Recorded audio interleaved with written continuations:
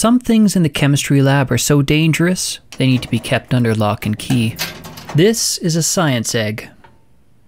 Laid by the finest science chickens of northern central Alberta, let's see if we can use it to help demonstrate the properties of gases. Step 1 it needs to be hard boiled. Dunk it in some water at some temperature for, I don't know, say 10 minutes or so. Yeah, that's probably good. Next step, peel it. You want to keep the egg intact as much as possible. As you can see, it uh, doesn't have to be perfect. Now our goal is to get the egg into this flask, using chemistry of course.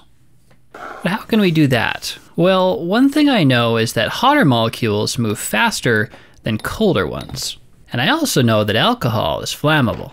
If I light it on fire, it's going to generate heat, which is going to cause the gas molecules inside the flask to speed up.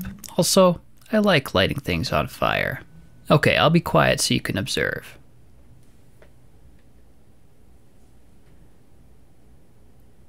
And voila, the egg is in. Now, can you explain why? Think about what the molecules are doing from the moment that the egg makes a seal around the neck of the flask, and make sure you're thinking not just about the molecules inside the flask, but also the ones outside. If you need a hint, this is how I get the egg out. It's important that the water is hot.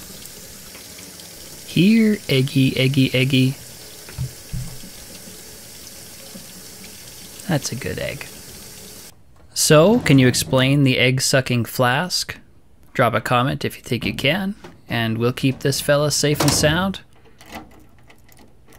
Until next time.